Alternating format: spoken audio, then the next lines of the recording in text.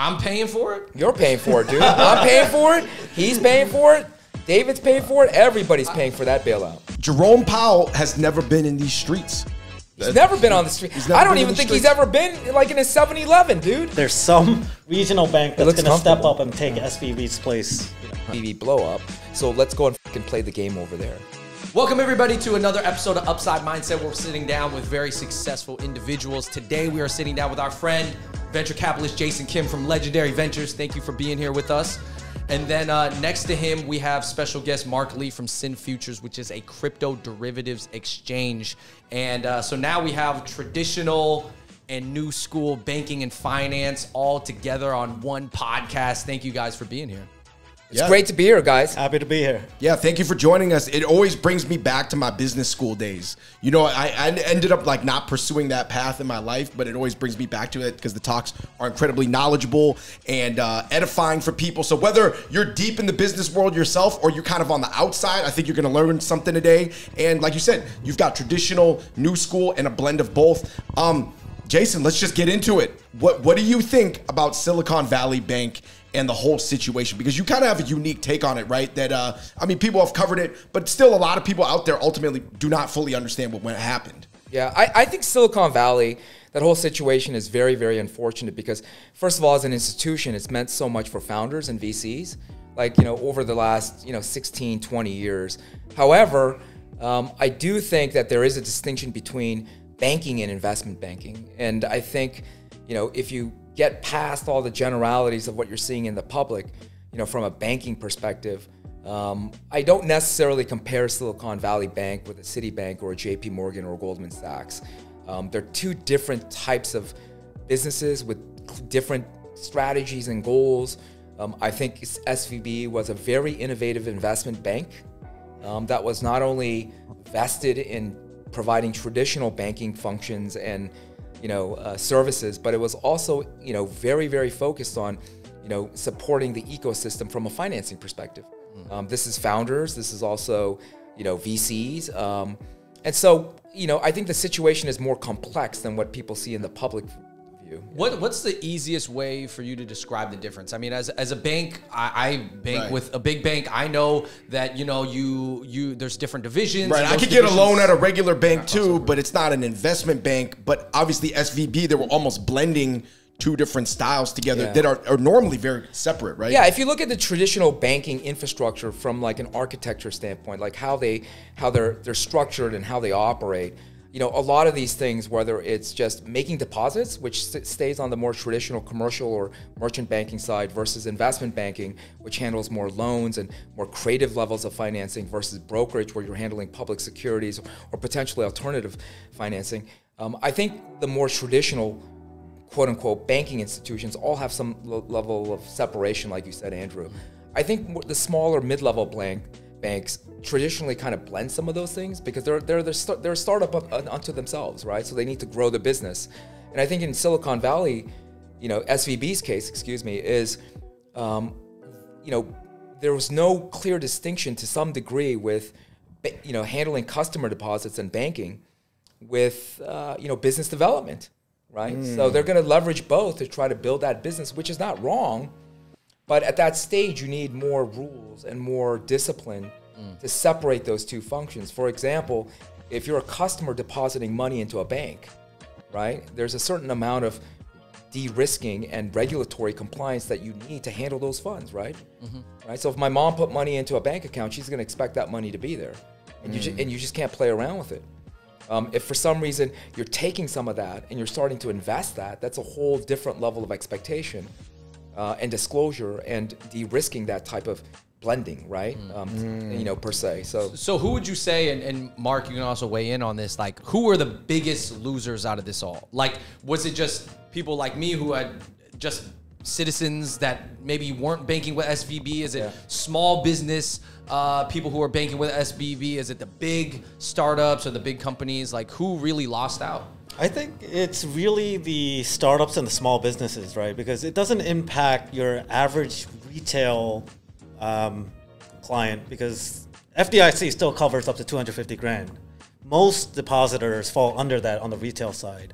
Startups, though, were really relying on SVB and other regional banks like First Republic, so, uh, Signature Bank for more flexible terms in the way that they lend, in the way that they deal with these founders, right? Because SVB, for example, for, has long been probably the biggest proponent of the startup industry. And so I think this is a big blow to not only startups, but the VC community. That was in the top bank if you're a startup founder to go to. Oh, it whether was. Yeah, whether yeah, you're definitely. keeping your actual cash value that your company has there or securing loans, right? It was SVB. It was. It was. But, but how did like the we were kind of talking earlier, like maybe the taxpayers, like did I lose out on any of it in a way? think, yeah, I think what Mark's talking about is one dimension of it, and, and disagree. You know, agree. You know, agree. Feel free to agree disagree. I think there's multiple levels of wins and losses here, right? So there's the pure economic sense of who lost, and, you know, who won and lost, right? I think to answer your question, my perspective is the biggest loser, financially speaking, is probably the taxpayers, right? The Right, 'cause they gotta taxpayers- bail out the They got to bail everybody out in that kind So- of in that kind of engineering scheme But I think some it's degree. different from 2008, right? We're not necessarily using taxpayer money to bail out the banks, which is why a lot of the regulators are saying, don't call this a bailout. Well, no, we are. I mean, We're I, injecting I- liquidity, yeah. but not at the expense of the taxpayers, meaning the banks will ultimately have to pay this back. Well, I could be wrong, but I, I, I, kind of disagree with that for one reason. The, the bailout of SVB was primarily coming from while they're going through a transitionary phase of insolvency, right, and maybe potentially reacquisition, is coming from FDIC. FDIC is funded by taxpayer dollars, so at the end of the day, everybody in, you know, on this interview is paying for that bailout. I'm paying for it. You're paying for it, dude. I'm paying for it. He's paying for it. David's paying for it. Everybody's paying for that bailout. Right, right, right. Um, I the guess net net. You know what I'm Right, saying? of course, of course. But I think I agree with Mark with what he's saying, which is um, there's also causally related damages from this, which is you know beyond the pure economics of it, is who else is really paying for this? And I agree with him. I think the startup community and the small businesses are the ones that are the most affected because at the end of the day they need some sort of creative financing to really build their business right Mm-hmm. uh, you know america is the greatest startup in this world you need help to get something off the ground you know and, and and if you're not getting that help because you have innovative companies albeit a little bit more riskier than a traditional bank like svb providing that type of like support who do you go for, right? Like, Right, so that's what right, Mark right. is saying, right? Like if you're a startup and you're a small business and you really need help getting off the ground, you go to a bigger bank and they're probably going to say, "Hey, you know what? Give me three years of your your run rate. Give me your three years of your tax and credit histories." And a lot of immigrant, especially immigrant founders, don't have that. right, right. Right, They're going to so- ask for a lot of paperwork. Right, exactly. And then they're going to go back. So there's a huge gap in the market right, Right. now because you know what SVB, First Republic, in their defense, did really and Signature, those types of banks did was they filled a they filled a niche in the banking system for startups and founders that a Mm. traditional big bank couldn't fill. I think that's. I don't want to put words in your So mouth. So I guess that's where will exactly all the right. founders go now that their startup bank that all the startups were banking on had a big mishap? Where will all the startups go? Because like we were saying, the majority of startups were at SVB, right, or a disproportionate amount. Right. Where will they go now? Because maybe some of the uh, faith in these startup banks or smaller banks that are obviously operating completely different than your JP Morgan, Citibanks, Goldman Sachs, uh, they're, they're, they're- the, the, the trust in them has been shaken. Where will they go? Because they, they still need these creative financing options, right, to, to grow their business and just be different. I think just from a treasury perspective, they'll start to move into the bigger banks. I know a lot of founders myself that are moving to the JP Morgans and the Citis of the world. Some of them are going to the fintech solutions. Like you have Mercury, you have Brex. They've re- they've really raised the limit on the FDIC limits to like 2 million, 3 million respectively. And the way they're able to do this is they use fintech to spread out your deposit across multiple banks. So you get exposure to, you know, you're really spreading out your risk. Uh, from So a you give it to them and they spread it Exactly. out. So Exactly. you don't have to spread it out yourself So and it manage. makes as a as a founder, it makes your job much easier. But just on a side note, you're also paying for that when you could do that yourself. So if you're a real hustler founder, Mark, you know, agree or disagree with me, you don't really need those middleware companies to do that. There's nothing that prevents me and Mark from taking two million dollars, for, for example, um, beyond 250, I- you know, you know, FDIC, Yeah. and just setting up, you know, you know, you know, seven or eight bank accounts. And spreading that risk over seven or eight bank accounts. Yeah, you know? it's just why do you need to pay all these other companies to do operationally, that? it's a nightmare to manage. Right. You're running So eight you're- different accounts. Yeah, at so a you're paying time. for you're paying for the convenience. exactly. Yeah. Not to bring, I mean, just to bring it to layman's terms, I heard that uh, NBA MVP Giannis Antetokounmpo has 40 bank accounts at all 250k each. That makes To try to- sense. yeah. Yeah, but but that's not a solution either because at the end of the day, to, to Mark's point, it just becomes an overhead. I mean, there are products with major banking institutions that will cover you beyond, you know, uh, you know, FDIC. So, for example, if you are, you know, if you have a million dollars, right, and you put that money and it, and you're not covered under FDIC, and you don't want to play this weird insurance game of creating up creating 40 accounts just to make sure that you're protected, you could certainly go into an investment banking account put some of that money into treasury or some other really you know strong Yeah, that's government- actually what a lot right? of people And- are starting to do, right? They're Right. Putting some of their treasury into short-dated U.S. Treasury. right Okay. Mm-hmm. Mm-hmm. right but it's completely government backed so the only way you could lose that money because it's by de- definition it's government backed is if the government collapses uh, so it's probably the safest thing ever So, Okay, to- so if Giannis, if you're watching, you don't need 40. You can just do what they just said. Just have two accounts. Listen to the Asian guys. Yeah. Uh, Yeah. I, we, we were talking about an analogy earlier, and to wrap up this segment, because it's a great segue into our Web3 and traditional finance segment. But I guess like uh, we all are familiar with Liquid Death, this drink brand that's its value very high, and, and it's just There's a lot of memes about it right now because the valuations are so high, and people are like, literally, this is just Yeah. flavored sparkling water, but Right. like cooler, right? Right. Um, so it's a real product, but maybe it's valued a little bit higher than maybe it should be. But I guess what is the uh, is there a comparison between Liquid Death and SVB, or like is is there like some type of parallel type thing? Well, I guess it, just in the sense that it's hyped in the sense that like all the founders were going to SVB, right? They had a really trendy name. It totally logically, it just makes sense if you're a founder. Oh yeah, I'm trying to be millennial. That sounds like a millennial run bank. Yeah. Look, I think I think it's interesting that you guys are trying to, you know, compare a, a, a, a ready to drink business with a bank. Um, so I'm a little stunned here, but um, I think if you were to find some commonality in that type of analogy, um, I think it's that both fit a really distinct need in the market, right? So SVB, to Mark's point, was really about servicing a, a demographic or an audience that just didn't have access to the benefits of traditional banks, right?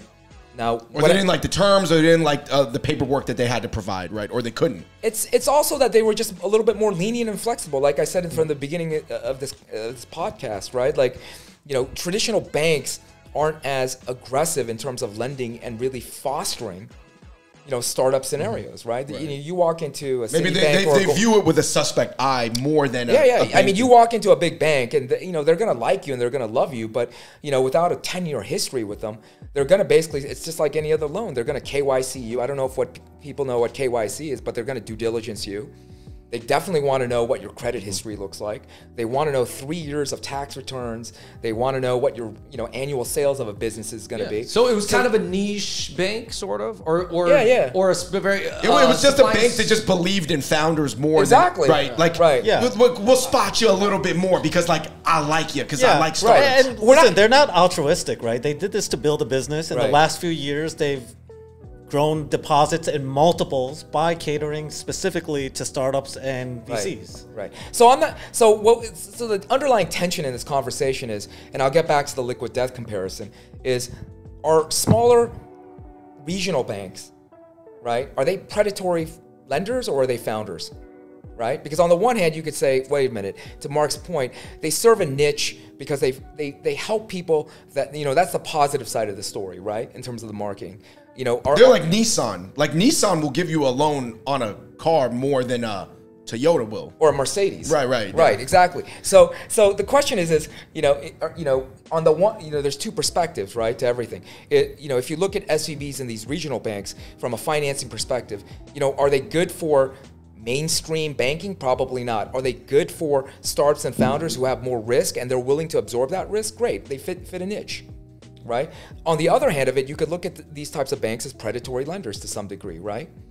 because what they're doing is they're foregoing some of the requirements, right? In terms of the, the, the regulatory, the safeties, the checks, because what they want to do is they want the customer growth.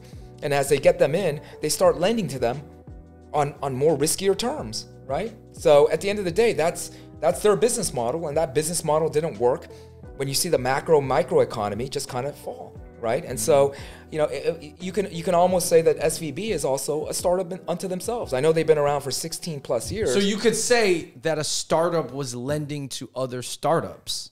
pretty much, yeah. And that's, I guess that is different. It's a lot of layers of risk there. right, Got it. right. There is, but I would say more than their business focus, their failure was really just in the treasury management. Right? It's not necessarily they didn't fail just because they were lending to startups that weren't getting loans at the bigger places. It's just what they did with those deposits. Right. But but but I but I would also I would agree with Mark, but I also add on to that that if you were a more stable traditional bank, they wouldn't have taken those risks. That's true. I, I guess for all the founders out there, or people who are would-be founders, or people, you know how people tend to follow founders. All everybody in B school, whether they end up one or not, they dream of being a founder. What should you do? Big bank or small bank? SVB or big bank? both.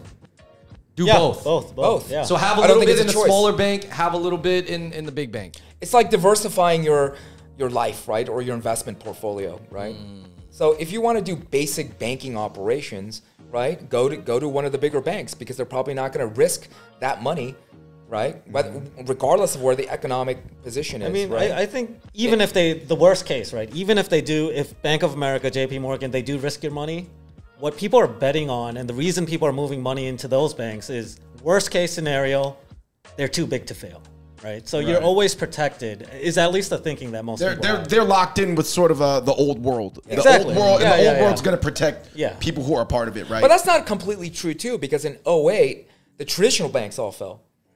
yeah, but those to are investment banks, right? Well, I mean, Citibank, I mean, fell too to some degree. Yeah. Right. But Everybody. it didn't completely I it didn't Yeah, completely. It wasn't like a collapse, Lehman. Right. Yeah, yeah, yeah. Did you guys personally know anybody who was freaking out over the uh, SVB thing? Like their money Oh. was locked Oh. up. Oh, they sure. can't make payroll. Yeah. They're Yeah. like calling Totally. every successful friend they got. Like Yeah. any, I guess I don't know any stories you guys can tell. In, Oh, without, I had a founder texting me. He's a friend of mine, so I knew that he took money from Silicon Valley Bank. He took a big uh, loan from them, and he kept most of his money there.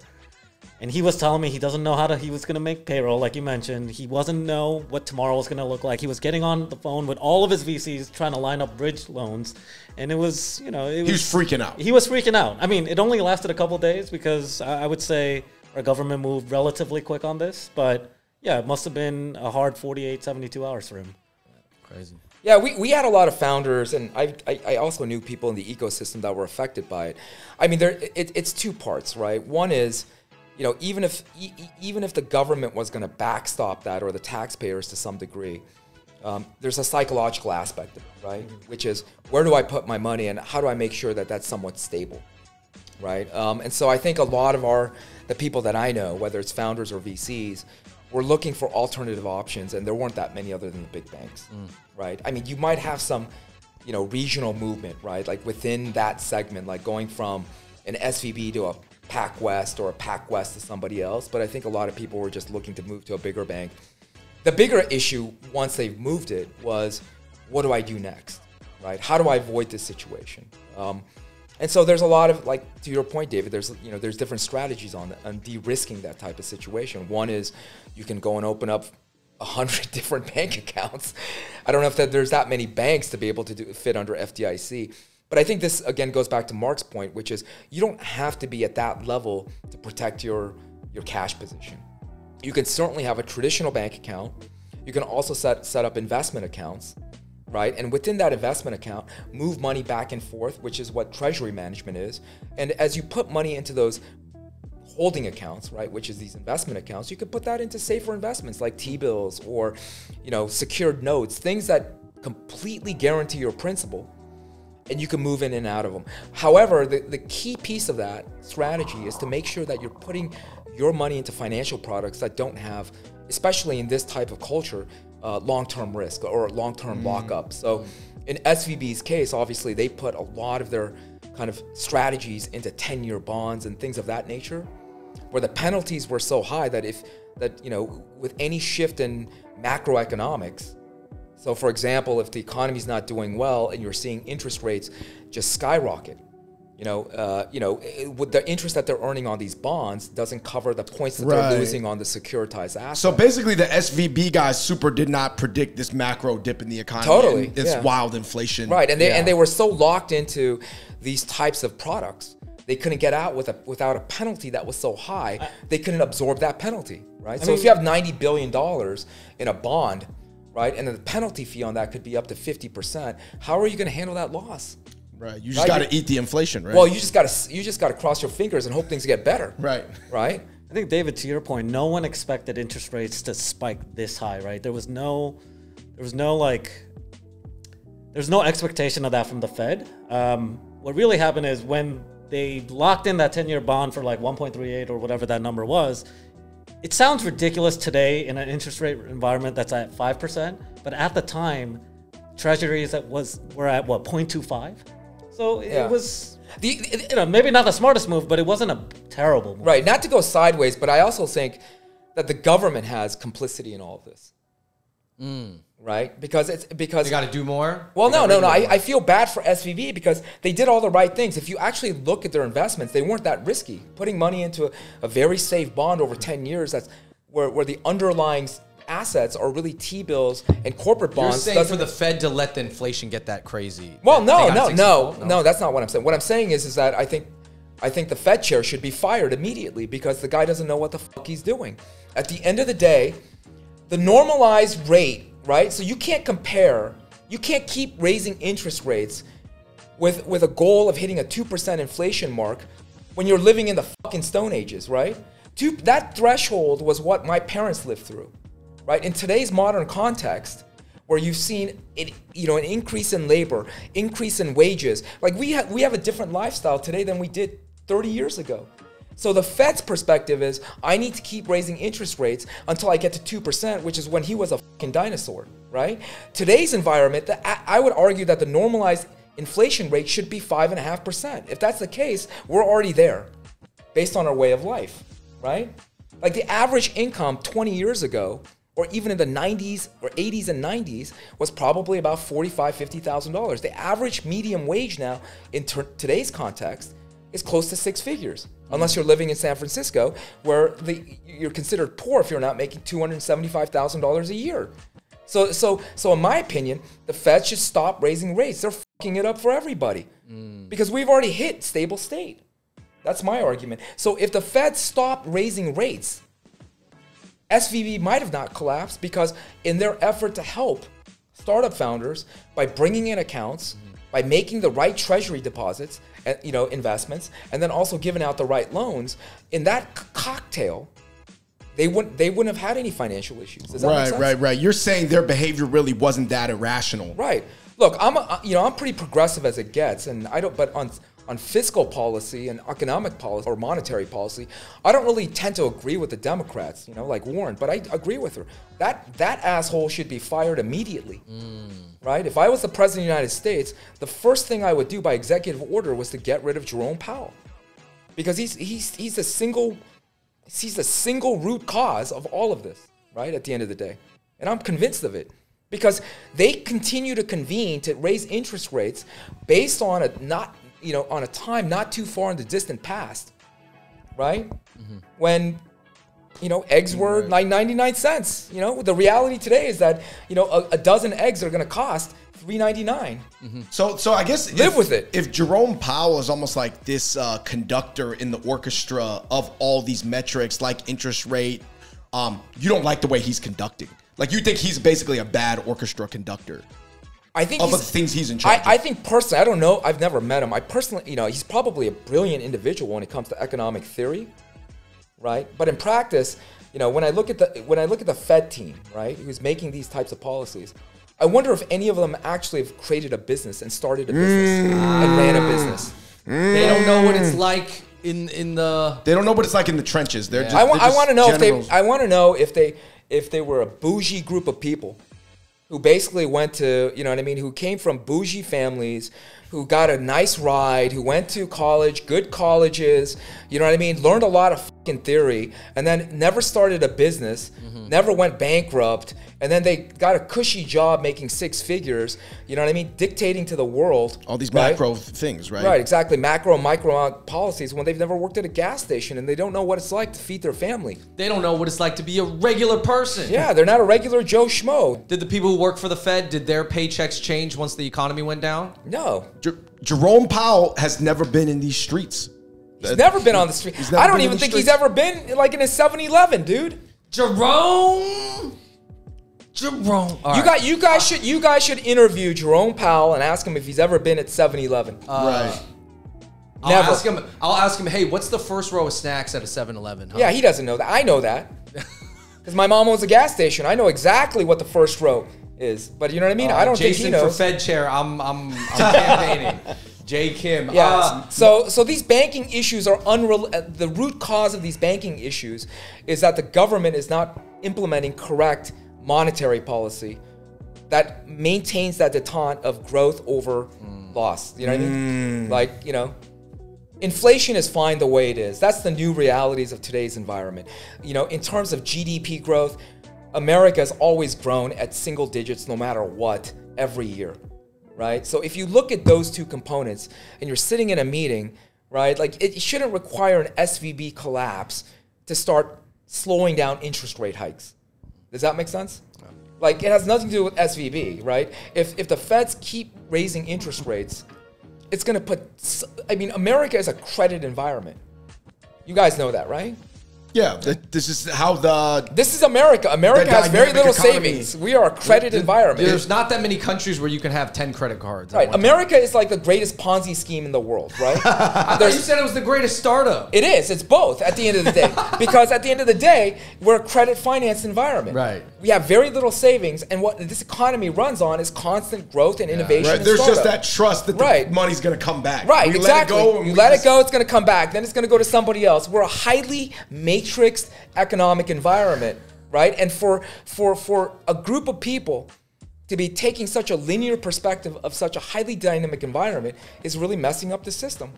Right. So there's going to be more SVBs to come. All right, J- Jayson. I think we're gonna we're gonna wrap up this segment here because I think we could go on and on about banking, eh, but we got to keep it moving because we have Mark here and you here at the same time because you guys are bros. You guys know each other, but we're all bros here. But you guys kind of represent maybe different sides of finance. You know, you're more traditional. You're from the VC world. Uh, Mark is in Web three and crypto, and I kind of want to know. I want to segue into this whole segment by asking like how did SVB falling and collapsing how did did that have any effect on the crypto world did it help did it hurt did it make people think differently about crypto or made them lose faith in it or feel like crypto needed to be more regulated I or, think or there's a- gain faith in, Yeah. in Web three and crypto. exactly Yeah, so I I think we could look at it in two ways. First, it's become extremely difficult for the crypto industry to access banking products, right? So, not just you know Silicon Valley Bank, but especially Signature Bank uh, and some of these smaller regional banks cater to non-traditional clients, which included crypto companies, right? Uh, there's this bigger push in the country right now, especially from regulators, to cut off crypto's access to banking. And it's already taking effect, right? If you look at what some of the regulators have said about the buyers of SVB and Signature, one of the things they need to do if they're going to buy the bank is they have to give up their crypto clients, right? So I think there's this broader push by regulators to crack down on crypto. They're leveraging what's happening happening with the banking crisis to accelerate some of this. On the flip side of this is it's really this this banking crisis has really disroded trust in traditional finance, right? So people are starting to think, okay, so let me learn a little more about crypto and DeFi. What is it really about? Is it just about speculation or is it about improving accessibility, making products more approachable, and making sure that people have complete access over their finances, right? The idea that the government could step in and just shut a bank down overnight is, you know, it's not one that's welcomed by everyone, right? So the whole idea of DeFi is you take complete control over your own finances, you trust the code, not the people. Hmm. Don't trust Jerome. Trust the code. That's right. The code. Yeah, but just just but just for the audience to understand, and Mark, you can correct me if I'm wrong. If I'm wrong, but with DeFi, you could there's still security issues around the blockchain and DeFi, right? Of course. I, mean, you can still ma- manipulate on-chain transactions. not, maybe not manipulate, but there's always a chance jack of a vulnerability. Right. Right. Just like Google can always get hacked, right? Your bank accounts can get hacked. Right. The likeliness of that happening low, right? But that's because there are measures in place. So it's probability, So- not certainty. Yeah. so okay. DeFi as well, like our project, all of our products get audited, smart contract audits, by at least two or three reputable auditors. And this doesn't necessarily guarantee. By the way, that- I just want to say that that's what Binance says, and they're under DOJ. well. Binance is different. They're centralized, right? So they have centralized servers, centralized leadership. That's- and, you know. I I- I- Mark, Mark, I think for a lot of people out there, um, possibly me, I'm wondering, and this is a big question: How is Coinbase different than Binance? Real quick, is Coinbase safer? I, I mean, Well, they're two different businesses, right? Well, they're two different businesses, but they're similar in the sense that they're both centralized exchanges, which means everything's controlled by a single entity. Yeah. Right. For the most part, there's like a parent company that oversees all the different Right, right, products. I mean, personally speaking, I would think Coinbase is a bit safer because they operate in under U.S. regulation under they- SEC uh. Under yeah. SEC regulation, and as far as I've seen, they've always done right by you know they try to do right by regulators, by lawmakers, by by their customers. Um, Binance, but- you know, but there's has a, But there's a but there's a but there's I agree with you, but there's also a fundamental difference. I, and correct me if I'm wrong. Coinbase, I my understanding is that they're an asset manager, right? That's the way they've positioned themselves in the market. They're not an exchange. No, no. Binance is a pure exchange. no, I- they're very similar. They offer similar products. I mean, Coinbase does have an asset management arm, but their core product is their exchange. It's the trading platform. Yeah, I mean the way the, the way it's put, but uh, right, I agree with you. They're, they they have a multiplexity of services and products. Yeah. pro- yeah, but I think that if you look at their core focus, Coinbase historically and culturally has always came out as an asset manager, and then they've kind of evolved into an exchange. Yeah. Whereas Binance, I believe, it's my opinion, started out as a pure exchange and now they're evolving into other services like asset management. So they're both the same, I agree with you, but I think they just came from different perspectives. And I think I think that speaks to its culture. Does that make sense? Yeah. And, it so also, I, you know, you know, I, I put, I personally, living in this country, put value on a company that puts its roots here. yeah, Like, mm. definitely. Binance, for example, is somewhere in, you know, I, I think a lot of their operations is in Dubai, which there's nothing wrong with that. But I you gotta trust CZ, right? Yeah, yeah, yeah, exactly. Yeah, and so and so the other thing I think what what what Mark is speaking about is, and I don't want to move off the financing topic, is that when you're making an investment, it's not just the finance piece of it, but it's the legal piece of it, right? So as investors, if you're investing in a company, you, you have to be aware of the fact that you know the best case is that you make money and things go well. The worst case is that if it if something if you run amiss or there's something that's going on, um, I think you know to Mark's point, making sure that you're in the right jurisdiction helps, right? Right. Because there's Yeah. there's more there's more infrastructure in the United States, and the law and the rule of law here has been advanced enough to a point where there's some consumer protections that are reasonable. Right. It's, It's, not, the just about- Bahamas, right? Yeah. It's Yeah. not just about like, oh, how good is this deal for me as far as my shares and Exactly. ratios or leverage or whatever. But I literally have to think about like, okay, if something bad happens, do I have essentially somebody I can talk to? Exactly. Is the government gonna mm. Right. help me out? Is So I- there customer Yeah, service? so, so, so I'll give you an example. Like this is a this is a really classical example, right? This is one particular point and example of the situation is, like for instance, we invest in a lot of companies, right? Early stage founders, and it's pretty it's pretty well known that founders eventually like they kind of want to you know build a business, they want to raise money, build a business, tell great stories, right? But at the end of the day, there's also risks associated with that, and a lot of founders they're afraid of talking about the risks because they think that if you don't tell them the truth and tell them the risks, you're not going to invest in them, and that's not true. You know, I'd, I'd much rather find a founder who says, you know what, this is what I'm doing. You believe in me or not, but by the way, I could lose all of your money too. But a lot of the younger founders are afraid of talking about the risks because they think that if you talk about something, it's like dating, right? You show up on a date and you're like, here's all the great things about me. Oh, and by the way, um, here's all the terrible things about me. No, you got you got to But talk nobody, about. but no, but everybody wants to live in the friend zone. Nobody wants to talk about the bad things. no, right? no one wants to talk about the red flags. Exactly. Everybody just wants to say, "I'm this. Look how I would Right. take you to this nice dinner, blah blah blah," and then it's like, "But what's But you got yeah, but, yeah, but, it, but but but it's like dating. If I met somebody who said, you know what, here's all these great things about me, but here's also some of the things that you might not like, I might just I, I appreciate the honesty and I might accept that and move on, and that it'll be a good relationship. so what happens in the startup world is that a lot of these founders will talk about the great things, but they won't talk about some of their challenges, right? Not necessarily risks. Because they're ashamed to talk about it, and they think they're not going to get support from it when that's not true. It's it's it's it's it's it's, it's not you know. and what ends up happening is even if you invest in them, I didn't want to interrupt. What happens is over time, as they go through the peaks and valleys of their business, right? Because there's no business that just goes up like a hockey stick. If, if all of us in, in, in this interview created a business, we're going to have good times, bad times. That's the point of creating a business, right? And, and taking it to some level state. So, you know, in, in the good times, everybody's going to be talking great. In the bad times, you know, what happens? Hmm. And I think in the bad times, investors traditionally try to go out to the founders and just want some basic information of how they're doing. A lot of the founders today won't even give you that information.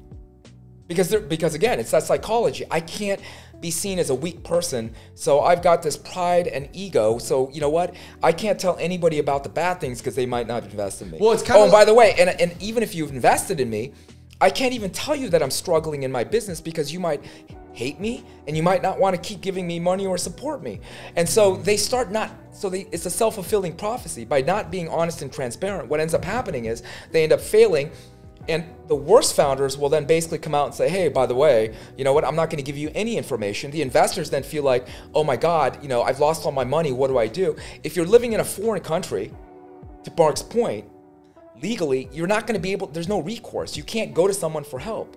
In this country, what founders don't realize, and if you're a founder, you should listen to this, what I'm saying, is that it doesn't really matter if you're an investor and you don't have rights to get information about the status of a company.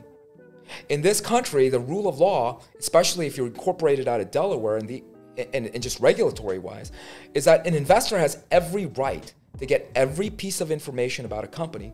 And if you're not willing to give it to them, they could take legal action to get it, get it right?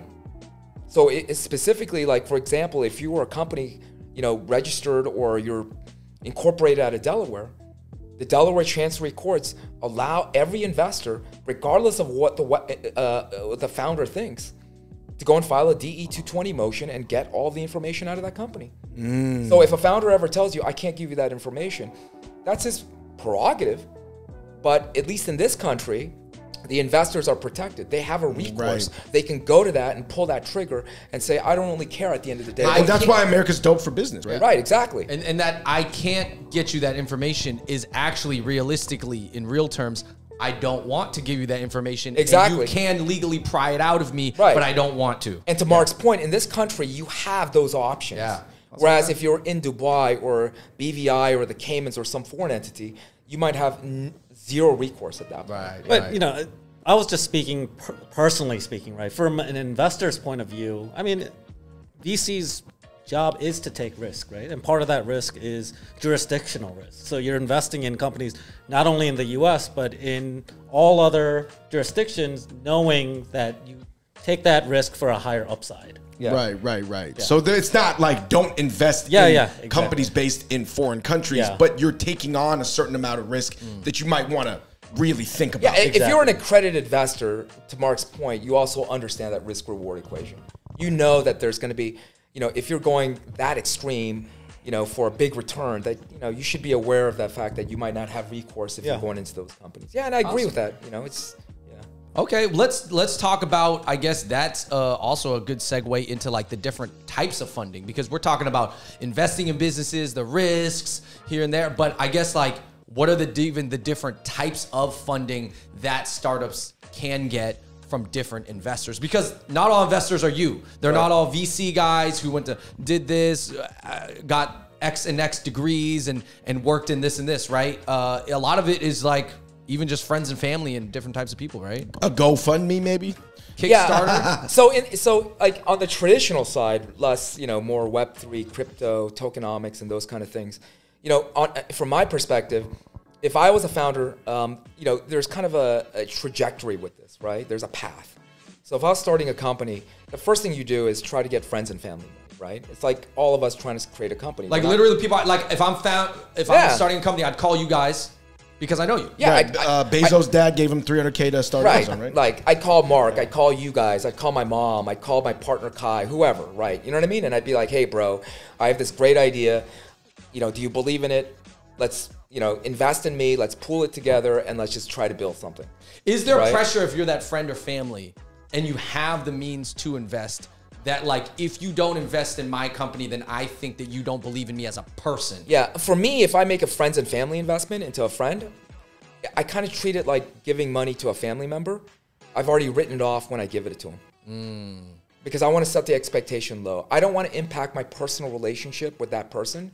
So if I'm giving them that person, I know I'm giving it to them without any expectation that they'll be able to give it back. You, you are willing, absolutely willing to lose this all this money and still be friends. So with if I say. I'm starting a liquid death competitor called Liquid Life, and you give me 100k, you're basically like, I'm betting I'm never gonna. You see really want to hit me up on liquid death, right? Because I missed that investment, right? You really want. You're really trying to unnerve me. on It's just this. a trend. It's just a trendy topic right Yeah. now.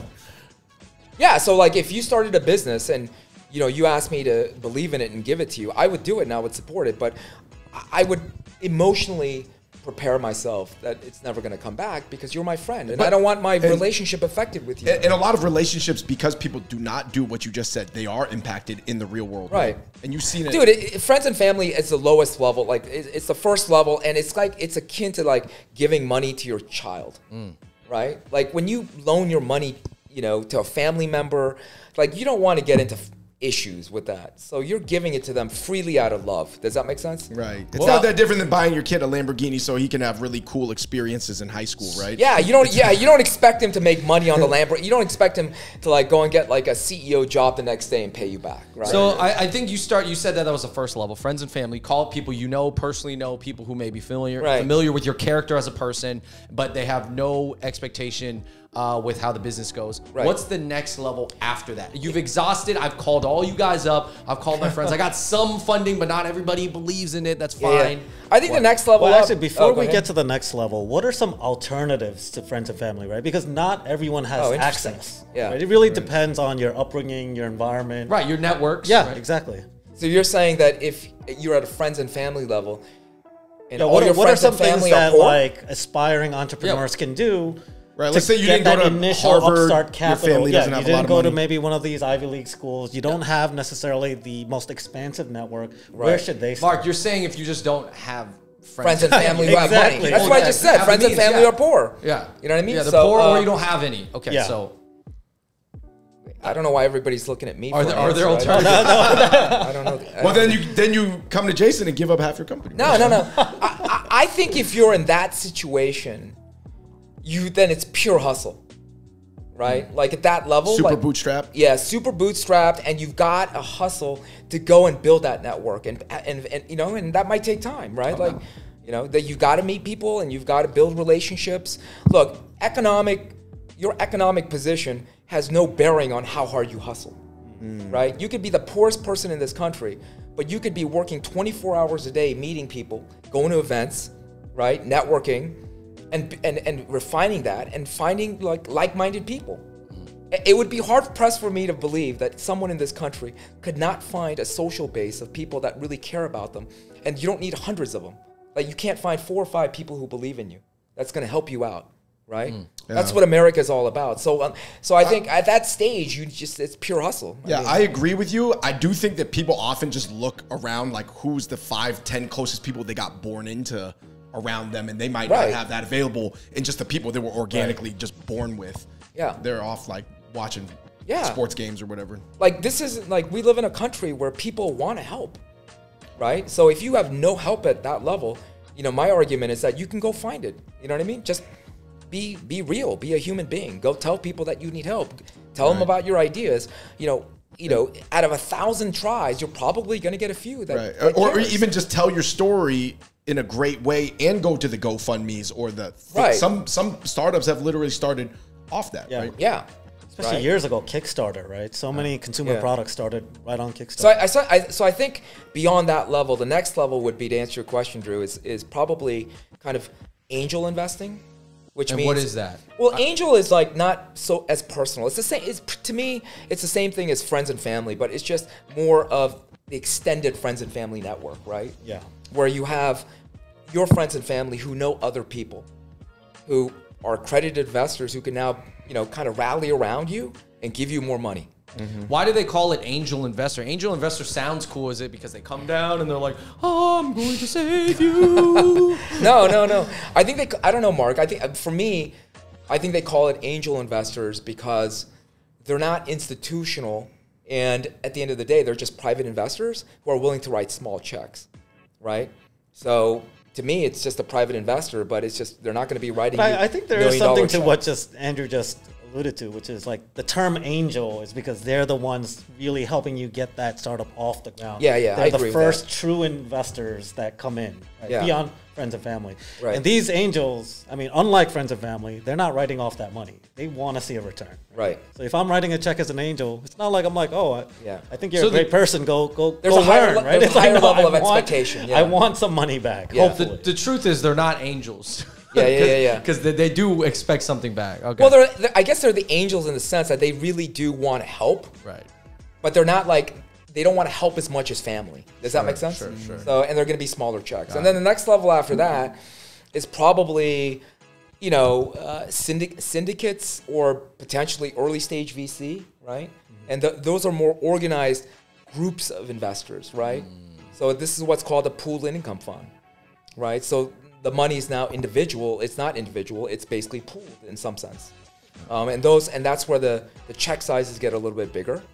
And then eventually you get to institutionals, and then you know from institutionals you move from VC into growth, and from growth into private equity, and from private equity potentially into the public markets, right? At a high, mm-hmm. very very high level. Yeah. I always hear That's about the hierarchy of. Exactly. I, I always right. hear that brands like cool brands like Supreme and stuff, once they get bought by private equity companies, then they become like less cool. I, I don't know. I, I love Supreme. I, I never thought. I mean, I think there's a difference between like But it becomes, I guess, like now you're reaching the institutions, and then once like institutions want to invest in your product, it's like Yeah, now you have a huge- mainstream. But but I would but I would also agree. Most consumers don't know that, right? Like they don't know Supreme was bought by a corporate strategic. Are- right? Are you also saying this because you have a huge Supreme skate deck collection? I love Supreme skateboards. Yeah. when you told me that, I was like, Jake, I would have never expected it. Why wouldn't you expect that? Well, you don't have a Supreme shirt on, right? Yeah, I think uh, you doesn't don't make sense. appear to me as a person who likes to jump on skateboards. I don't really skate because as an Asian, I think I would get hurt. So what I, I, I just I just like the art. You know what I mean? I just love their art, so I, I collect them as like a collectible. Yeah, no, thing, it's a right? very As organic, personal- like sh- street culture. Yeah, That's cool. I, I could I could never take part in the, some of those sports. That would be Uh, very I. I want to talk about Mark because Mark, you run, you are part of a crypto derivatives exchange. What is derivatives for people, and how does that play into funding maybe crypto projects? Yeah, derivatives are just financial instruments uh, for trading. So, to give an example, futures, uh, some people are familiar with options contracts. So, what we enable as a platform is trading crypto futures. Uh, so, basically, you're taking leverage, long and short bets on all types of crypto assets. Okay, how's it? I mean, we we just got to ask for the layman's out there. How's it different from FTX? Yeah, so we're decentralized, meaning everything's run on chain, everything's completely transparent, and we're non custodial. What that means is we don't take a hold of users' assets. Part of the problem with FTX is they took users' assets and then they went and did something else with it with their related hedge fund, right? Um, for us, all of that is stored in a smart contract and it never goes to our possession. Uh, so you can't move the money, even if you want to invest it. Like SynFutures would never.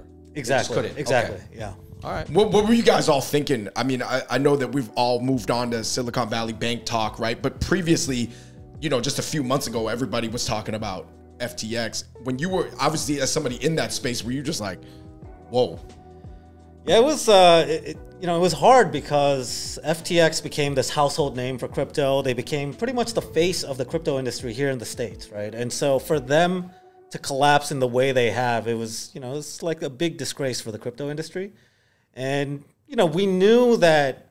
I, I think for DeFi projects, we always knew that it was a net positive because it actually shows the weaknesses of centralized systems. There are some congressmen who are pro crypto in the industry, and they've even quoted, they've been quoted saying this was a centralized fa- failure, not a failure of crypto, which is true. with DeFi, you kind of have some of the checks and balances in place. Like you have the on-chain transparency. This could have never happened because people can monitor exactly what's happening to funds, right? The other thing is it's non-custodial, so no one takes access. So the idea that someone's assets are taken out of an exchange could not happen in DeFi. So I think this has really cemented the benefits and the use cases for DeFi. Okay. Right, because you guys can't go do whatever he was doing with all the funds, Yeah. go and gamble. So you're Yeah. wait, I'm, I'm trying to get this straight just for the people out there listening. So it almost FTX failing and understanding why it fell, it could have even solidified people's more faith into DeFi. Yeah, and so, but you know, that's not. There's some positive, some negative, right? The positive is the people who understand DeFi, they actually truly understand the benefits now, and we saw this when FTX collapses. Collapsed, our exchange volume started hitting all-time highs, right? So these were people moving from centralized exchange to decentralized venues like ours. Oh. The bigger challenge, though, is you know if you look at the average person, the average politician, the average policymaker, normie person in the yeah, a America. normie person, all of crypto is the same, right? So they don't distinguish between Yeah. FTX and a DeFi product. DeFi, yeah. They don't even know the difference between Bitcoin and any other shitcoin, right? It's all to them. It's like it's all one big scam. Who cares? Right? So. I think the fall of FTX has really hurt the credibility of the industry, especially for the normie audiences. Mm. I want to ask. I don't want to, you know, just out of my, you know, stupidity. I wanted to ask Mark this because he's such an expert in this area. So you keep saying it's a non-custodial account. It has to sit somewhere. So I realize Yeah. what a smart contract is, but I'm wondering if you've got a lot of open cash, right? So on the exchange, you have buyers and sellers. They're depositing it into a non-custodial account. But who? But there's got to be someone who still has fiduciary responsibility over millions of dollars on that non-custodial account. Who is No, that person? it's all, it's all on chain and all on contract. It's all done through contracts, and then the assets you store it in a decentralized wallet, which is your, it's in your possession, right? so who's yours? The, the user, the end user. Okay, so Yeah. so so the author, so the, the business per se, who's kind of the super user, right, Mm-hmm. has has no legal access to the money that's being put in reserve to handle the trades, back and forth. Right. Is that correct? I'm, That- I'm just trying yeah, to that's understand. correct, yeah. Okay, great. I didn't I didn't realize that. Yeah, I learned something new. Thank you, Mark. Also, on decent, a lot of DeFi exchanges, you're not necessarily trading against a counterparty.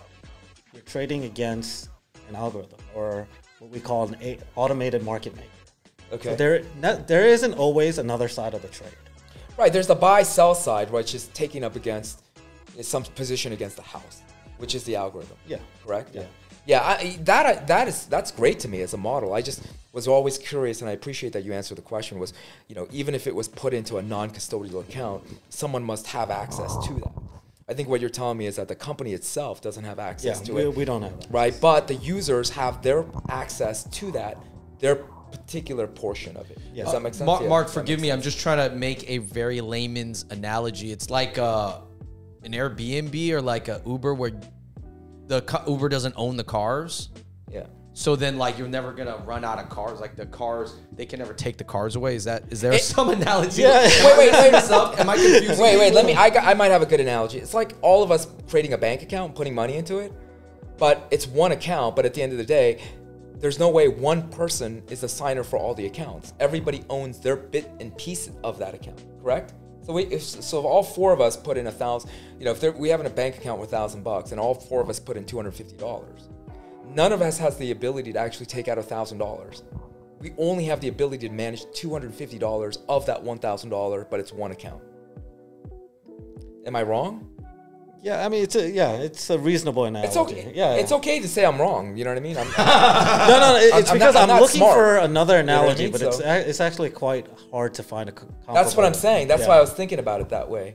It's really it- so it's basically like a, a pooled investment account, but there's no central authority that has the ability to execute on behalf of the collective. Ah. Right? So Yeah, it's, it's written into the smart contract. Right, so it's, it's right? like having it's one basically bank. law. Yeah, it's like having one bank account. It's a pooled bank account, but literally there's like 1,000 signers on it. And unless you get all 1,000 signers, you can't effectively. There's no authority to commit that bank account to something. You can only commit your piece of it. Sorry, am, am I getting too like intellectual masturbating on this thing? Um, I guess do ultimately we, we are discussing obviously centralized exchanges versus decentralized DeFi versus regular exchanges. Do you think that after this whole uh, FTX thing that just the industry needs more regulation? And if it does need more regulation, who should do it? Because it, it can't be guys who all grew up with Jerome Powell. And, and them, Bro, it definitely can't be him, because they cannot understand this new world, right? They're from they they don't even know what Spotify is, right? They're they're still playing records and CDs and maybe uh, Jerome Powell's tape- on the tape. vinyls, man. Yeah, You know what I mean? he's He's on the vinyls. so so who? Because if it needs more regulation to create more consumer trust, Who should Who's going to create the the, the regulation, right? Who should be put in charge of regulating? Yeah, I think crypto regulation falls into two camps. One is the SEC. SEC overlooks anything securities related, and then the CFTC that overlooks any of the futures markets, right? So for us as an exchange, you would, if we operated in the US, which we don't, we would fall under CFTC jurisdiction, right?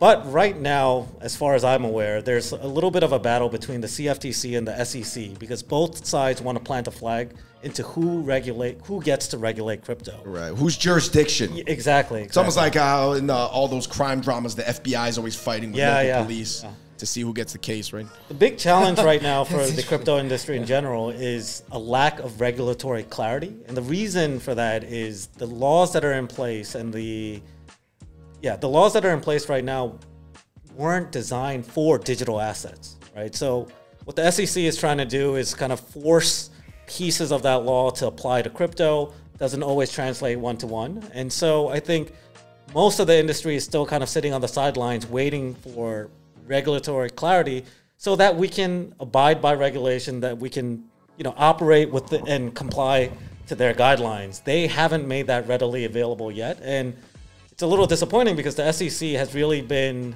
regulating by enforcement, which means without putting together the proper frameworks, they're only going directly after crypto companies and bringing down judgment and enforcement as a way to set precedent on future regulation. Oh, interesting. Yeah. So it's all kind of murky right now. It So they're still figuring it out. It, it is very murky. Um, yeah. do you, do you think? I think what Mark is saying is that they're learning on the go. Yeah, I mean, I'd argue that we need more open dialogue between the crypto industry and regulators. Right. Mm. Um, Before before setting those judgments and yeah, enforcements. exactly. Should Right, there be versus, a- versus learning on the go. Yeah. Should there be an age limit on the regulators? Uh, May, I mean, I don't know. I mean, you know, other countries uh, they they had Yeah. to just extend the age limit in France question, yeah. just to let uh, Macron still be the president, President, right? yeah. Yeah, because they, they were they were capped at sixty two.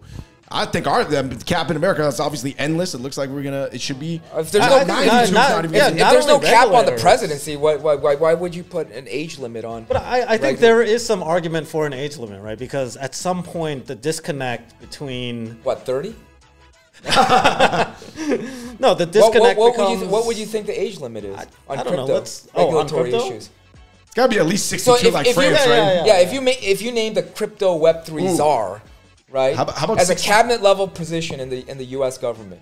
What do you think the age limit would be? I think you got to go with 64. You know why? Because it's 64 bit and N64. yeah. It's a very digital number. That's cool. That's a good idea, actually.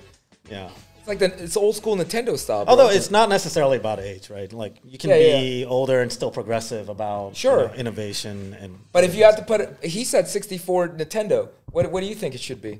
Well, the crypto industry would love it if it was 69. Yeah, oh, that's pretty funny. Yeah, a that's mean number. Yeah, yeah. Oh yeah, yeah. or four, 42, 42, 42 or exactly. Yeah. 69. 42 is a Those young. would be the regulatory ages for crypto. Even, uh, even, I- I even the porn industry would love 69.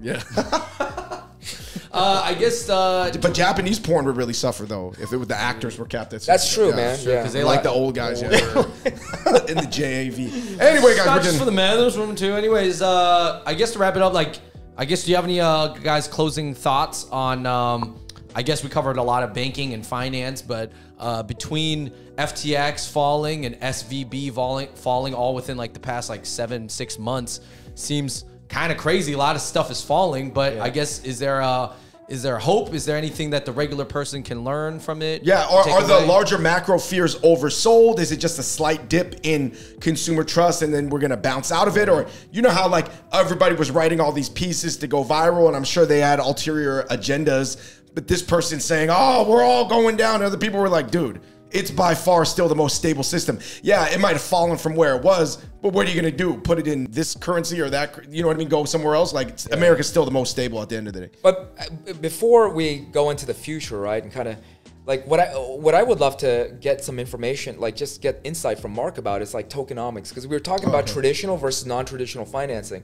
So in the VC world, a lot of the financing is based on equity, right? We buy something, you know, we take a percentage of the company, and we're very vested in it. It's equity, right? We own something of something. There's also derivatives of that where you could do debt, you know, alternative financing, whatever it might be. What's interesting about the non-traditional world is they have a similar setup, but it's in their own kind of way. And I'm I I want to see if Mark could talk a little bit about, you know what I mean? Yeah. How financing works. Yeah, because kind it of the sounds Web3 more uh, new world. school, right? For yeah, sure. yeah. I, I think being in the crypto space, you do have definitely more avenues to fundraising. Um, you know, just as Jayson mentioned, a lot of crypto projects start similarly to, to Web2 companies with friends and family, right? Friends and family. Um, but where we have a little more flexibility is we also have access to something called grants, foundation grants, right? So there are a lot of these like layer one projects, and for those of you who aren't familiar, layer one project in crypto just means it, you can think of it as an operating system, like a Microsoft, a Linux, a Mac OS. It's a layer where people build their apps on. So these layer ones are incentivized to bring builders into their ecosystem. So they start handing out grants. They say, "Hey, Jayson, you're creating a decentralized dating app, right? We'll give you a fifty thousand dollar grant." This is something that's not traditionally available in Web two or just traditional startups. Definitely. Yeah. Uh, but beyond that, once you get to the VC level, like Jayson mentioned, we don't always raise in equity, right? I think in the earlier days of crypto, it was mostly dominated by token raises, which means you go to a VC and you typically raise through what you call a SAFT, right? This is similar to a SAFE in Web2 investing. It's a simple agreement for future equity. A SAFT is a simple agreement for future tokens. That just means the tokens don't exist right now. So let's say I'm starting up a project, I don't have the tokens yet. I go to you as an investor and I say, hey, I'll sell you some future tokens at a valuation of X. right? That was the typical method of fundraising from institutional maybe years ago. It's starting to change a little bit now just as the industry matures. Um, now, I think what's becoming a little more popular is we go the traditional safe route, but with something called a, a side note or a side letter, which really are token warrants, right? It just means if you buy 10% of the equity in the company, you will be able to convert some of that or all of that into tokens if we have tokens in the future. Isn't that just basically a safe now? Well, Conceptually. Is it, Yeah, is it because yeah. people are just not trusting the tokens like they used to? Well, it's also because business models are changing and some of these startups are growing up. The industry is becoming a bit more mature, and because traditional VCs are coming into the space, right? Yeah, yeah. So, crypto native VCs are happy to take tokens. There are some major Web2 VCs that have token only funds, but the majority of VC is still traditional VC where they're buying equity, right? These guys are coming into the space. I'm talking about like the Sequoias of the world, right? They're coming into the space and they're talking to crypto startups and they're saying, okay, this token thing sounds interesting, but we want a piece of the actual pie, which is the equity, right? That's what mm. they know. That's what they've invested in for hundreds and hundreds of years, right? So the benefit of these safes with token warrants is now they have some flexibility. We own part of the equity, but if you guys ever launch your token, we have a right to exercise some kind of conversion into the token. So from an investor's perspective, there's nothing to lose. right? Right, they're getting Yeah. both. They're getting Yeah. the the more stable traditional Yeah, thing yeah. they've been aware of for Right, 100 so- years, and they're getting the new school. So what thing. Mark is talking about is a permutation on traditional safe notes Yeah. from the VC environment. So in the VC environment, a safe is basically you're investing on, on, on essentially a loan product. You're saying, hey, look, I'm gonna put this much money in for this percentage of the company um, with this kind of interest, and if over a two-year period, uh, you know, uh, you know, you could you have the option as the founder to pay me the interest on the money that I've invested right? Um, and if you don't pay me that interest, then you're going to convert me into equity, right? At a certain valuation. Um, Yeah, that was like the traditional convertible. that's a traditional note. convertible note safe. What I think Mark is saying is that the alternative kind of non-traditional world of crypto and Web3 is going into that same direction now, whereas opposed to you were investing with some sort of token economics, they're now letting you invest, get have the optionality of taking equity or converting you with some sort of benefit, right? With kind of tokens. Does that make sense? And the reason Yeah. is the traje- the trajectory of a crypto startup is very different from Web 2 in the sense that the value capture sometimes in investing in these projects comes in the form of tokens. Yeah. Right. Mm.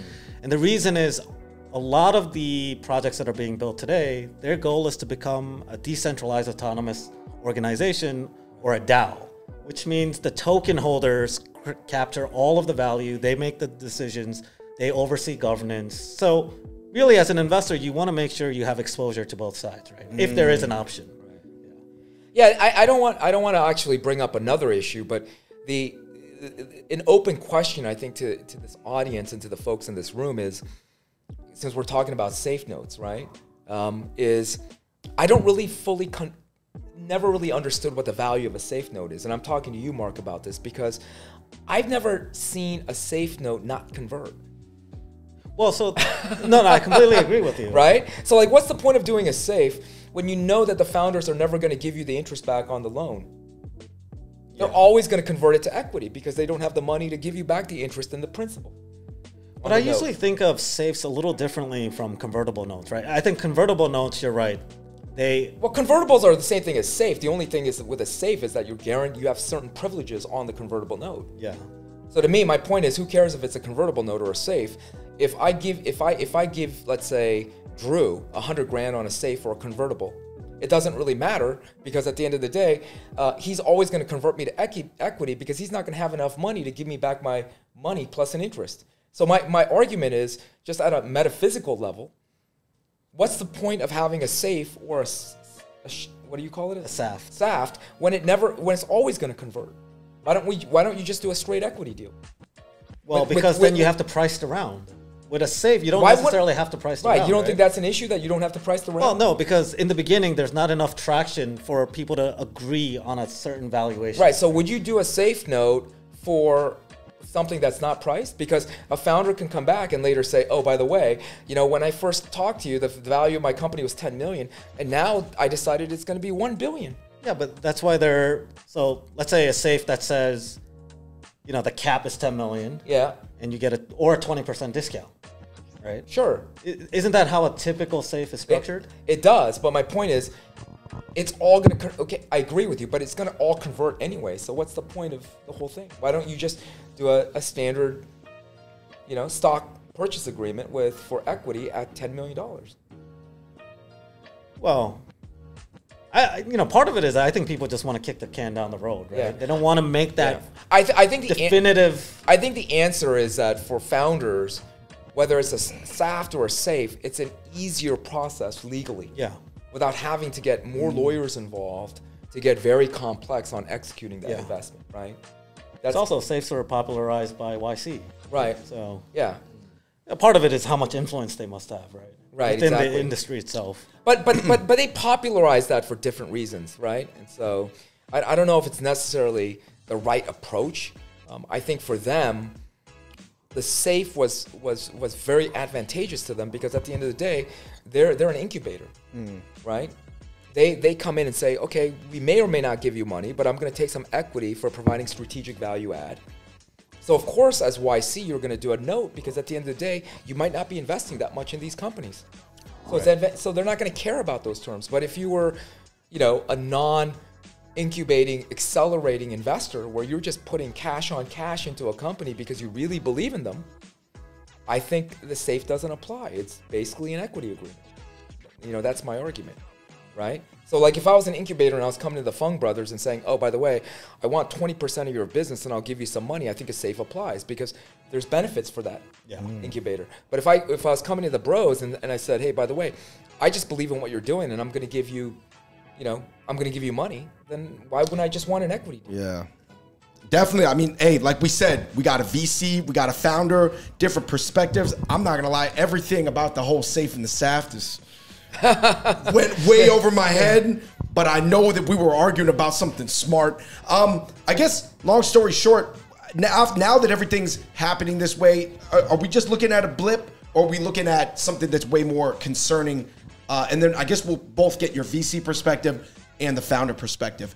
All these things happening, nobody could predict them. You know, you're you're talking about Jerome Yeah. doesn't know what he's doing. Uh, he's too old. He's on vinyl. Um, I guess are we? Is it is it just a blip we're gonna bounce out of? Or we got some stuff to figure out, or who's got to figure it out? The American economy and it will always come back. So this is just a trend, right? So if you uh, look Do you mean some people are freaking out for, for no reason, yeah. overly freaking out? Yeah, it's overly freak out. If, if you wait, this is like any other bubble. If you look at the last 20 years, there's always been ups and downs in our economy, right? And, and America always bounces back, right? Whether it's the tech bubble in the early 2000s, what was the financial crisis in 08, it always comes. You're comes saying we're not Greece. Yeah, dude. Yeah, it's gonna come back. Like, and you know, if you give it two or three years, you know, the market forces will stabilize. Is, right? it just sensationalized because of the social media cycle and the way the, the news cycle is even quicker, obviously, than it has been in prior There- generations? there is a, there is a big component of that, right? Where where you're you're fueling the panic because you have so much technology available. Where And can you just want you want to make money off the views of getting everybody freaked out, right? Exactly, right? So like there's that you know component from a technology perspective that's impacting consumer behavior and, and, and investment behavior. But um, you know but overall if you know i mean you know if we work on cycles right? Eventually the feds are going to stop raising interest rates. Eventually people normalizing it back to basics. Like um, Ameri- like the way we behave as american is very americans is schizophrenic you know, we want the excitement. So every three years, we're going to run up on FOMO. And then every three years, Right. the party's over and it's going to be a hangover and we're all going to be suffering.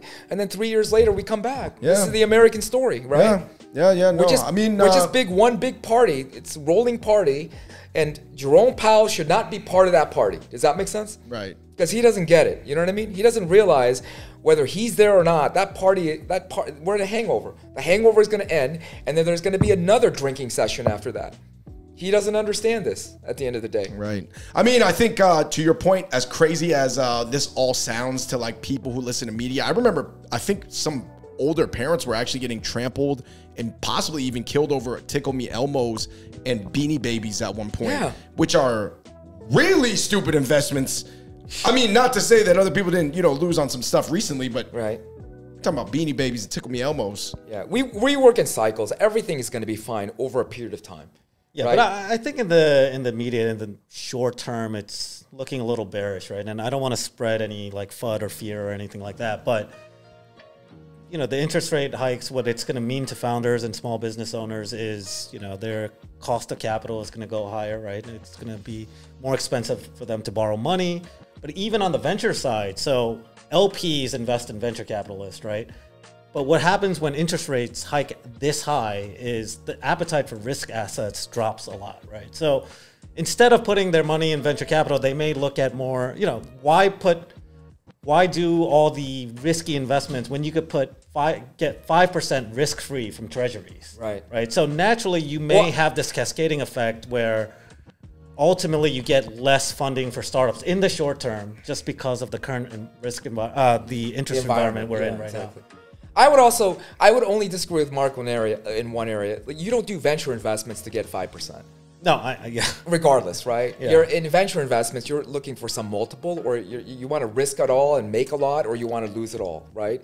That's venture investing. So, but I do agree with you um, about you know about your statements about the macro economy. But do you generally feel like also that it's going to come back and everything will stabilize? course. and It'll- crypto it'll come will. back. Yeah, I, I believe I mean, everything's going to. it's just a matter of time, right? It could be two years, three years. Yeah. And, and as a VC, are there some good deals right now in the sense that you know how when there's uh Yeah, there's the- fear yeah. right and people yeah. are like oh man I was just booming two years ago and I was feeling like uh, all the VCs were knocking on my door I was like the hot chick on Hinge I was a rose Yeah. and now I'm uh, you know maybe I'm The missing story in all of this, and the sad part of all of it, is going back to Mark's earlier comment about startups and small businesses.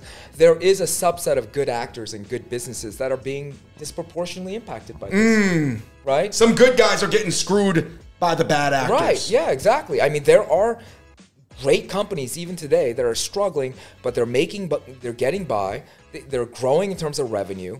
They're getting to profitability, and now they're just being lumped in with the rest of the. Right. and then they're just not getting those opportunities. And those are the ones that are really going to drive the next generation of growth in this country. There are good actors that are being typecasted and right. stereotyped as It- bad. it's almost with like- the bad apples. Like uh, Right, that's like saying Asians don't like you know In and Out burgers, man. That's not true. right. That all we do is eat Who ramen and noodles. that? Asians love a good You, deal. is, is it The sort of like deal. how there are some good guys who maybe own an island and a private jet, and they're like, dude, everybody, uh, everybody thinks I'm a bad guy now, man. I'm Yeah, not, exactly. We're not all. There's, you know, th- there's there's a good segment of Yeah. great founders, great course, companies like Mark. You know what I mean? You know that, you know, don't get opportunities. And now everybody's looking at him skeptical, right? Yeah, exactly. They're like, oh, what's this all Well, about? well, you maybe know? in our next video we can talk about how we suss out who is an actual good actor and an actual bad founder. Yeah, that'd that be is very interesting. Yeah. negative stereotypes of good founders. Um, but yeah, I mean, I think there's so much content, and obviously, like, man, we sat here, we could probably sit here for another two hours. Yeah. But you know, I think at some point. YouTube says, "Yo, you guys should cut it at an hour and a half." So, So here we go. Like, uh, too long, guys. Too long. But All right. uh, yeah, no, Jayson, Mark, we're gonna have you guys back, of course, guys. Upside Mindset with Jayson Kim right here on the Fung Bros channel, um, where we talk about so many things: successful people, smart people, people who are making a lot of money and making their parents proud. So thank you so much for all the knowledge you guys dropped. Uh, please let us know if you made it this far. Hit that like button, and thank you so much for watching Upside Mindset on the Fung Brothers. Until next time, everybody, we're out. Peace.